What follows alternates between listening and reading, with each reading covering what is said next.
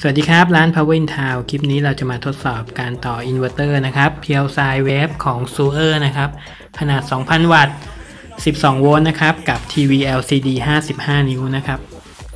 นี่ตอนนี้ นี่ทีวี LCD 55 นิ้วของ Sony นะครับ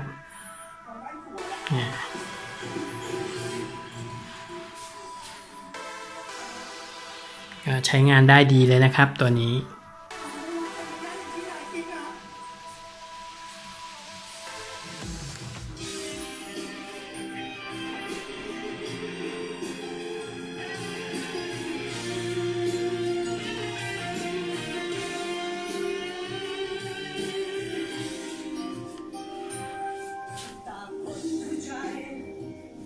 กดปิดอินเวอร์เตอร์เดี๋ยวเราปิดอินเวอร์เตอร์นะครับ